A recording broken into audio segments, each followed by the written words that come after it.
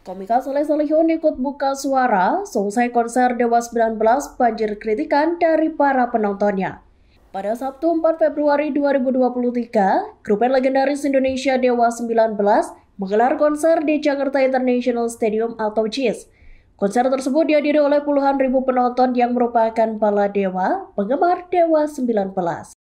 Namun sayangnya, banyak warganet yang mengaku kecewa dengan gelaran konser bertajuk Pesta Rakyat 30 Tahun Berkarya Dewa 19 itu.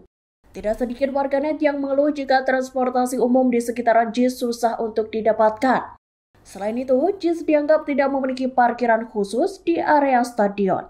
Menanggapi hal itu, komika Soleh Solihun pun ikut berkomentar lewat cuitan di Twitter pribadinya Minggu 5 Februari 2023. Dalam cuitannya itu, Soleh Solihun tampak menyematkan unggahan video dari Alit Susanto, seorang blogger dan penulis kondang. Lewat video tersebut, Alit menceritakan beberapa kendala yang dialaminya saat hendak menghadiri konser Dewa 19. Sesampainya di lokasi, kenyataan pahit pun harus diterima Alit, lantaran kursi yang telah ia pesan justru ditempati oleh orang lain. Namun akhirnya Alid dan sejumlah temannya dipindahkan ke area festival agar tetap bisa menikmati konser tersebut.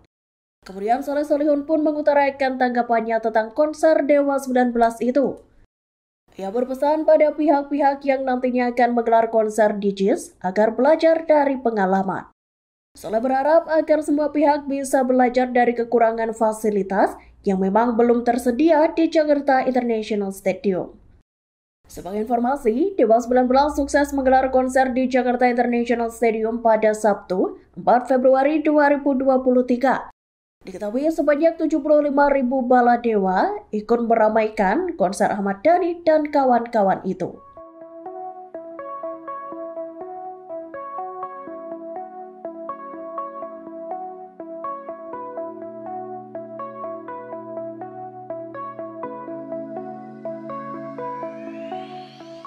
Terima kasih sudah nonton.